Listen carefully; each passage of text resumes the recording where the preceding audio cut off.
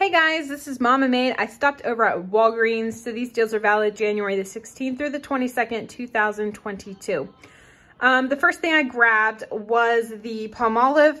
So it's $2.99, buy two, get back $3. I had a 50 cent load to card coupon. It makes it a cost of $2.48 or $1.24 a piece. Palmolive is my absolute favorite dish soap and I am getting a little low in my stockpile. So I was okay with paying that and that is for the larger ones, the 20 ounce.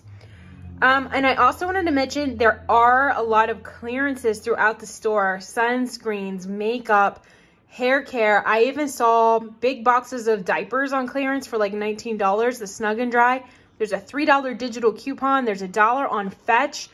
Um, I didn't grab them. I don't need diapers right now, and that's not the best price point for me to make a profit on reselling them but not a bad price um, if you just need them for yourself. But I didn't grab those. On the Colgate, I didn't write it down, but these guys are $3.99. You buy two, you get back $4 in Walgreens cash. And then there's a four off a two load to card coupon. Just makes them free. Um, this one didn't work out for me so well. And they're two for six. Get back a $4 register reward that did not print.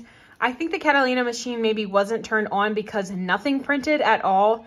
Usually I get one of those like next week's deals just for you or something like that, but that didn't print either.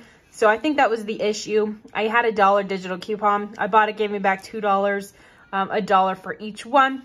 So it actually was a little dollar moneymaker.